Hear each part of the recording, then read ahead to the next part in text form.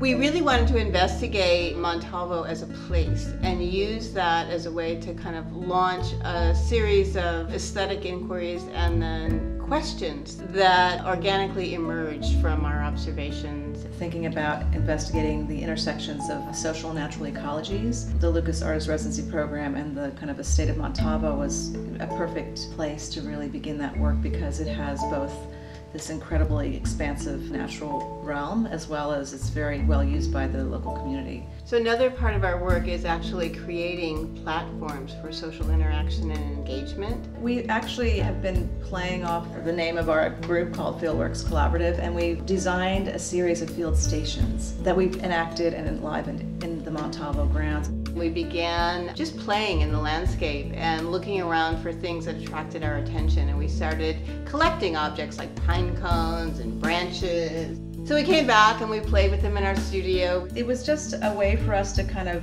understand the layers of the landscape. One of the things that we've used our residency here for is to create a laboratory. During our time here, we've just kind of collected, brought stuff in, tried to think about what are the connections we're making. We're, we're really interested in the tradition of the Wunderkammers, and there's a lot of things around kind of scientific practice, data collection, and collecting and examining that has really influenced our thinking.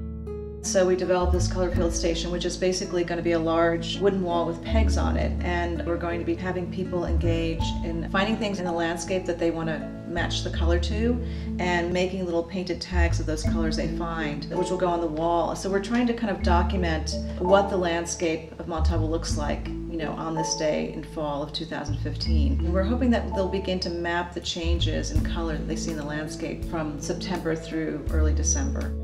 The Lucas Artist Residency is really a gift for artists. It's amazing to have the time and space to really think about things that you have nagging at the back of your mind when we're in our kind of regular lives and our work lives with our families and our jobs and everything else.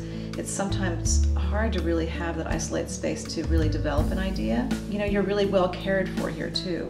And it's, it's nice to come into a space of work where you're in a development stage and everything is sort of taken care of for you so you can just really focus on your thinking.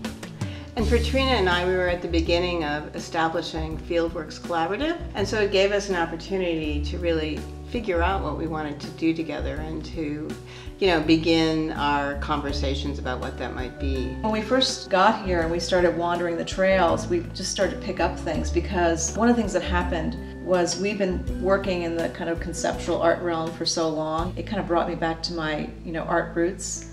And so now we're trying to take that process we've we've kind of rediscovered and bring it back into the realm of the conceptual because that's sort of where our heads are now.